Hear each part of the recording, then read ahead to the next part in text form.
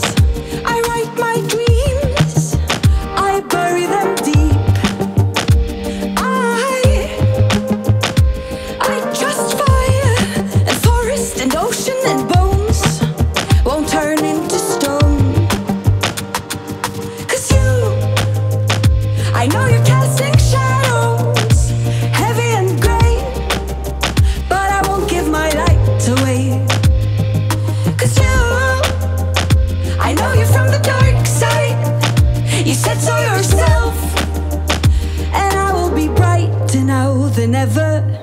I am a body, I am human, no doubt about it. I should have recognized.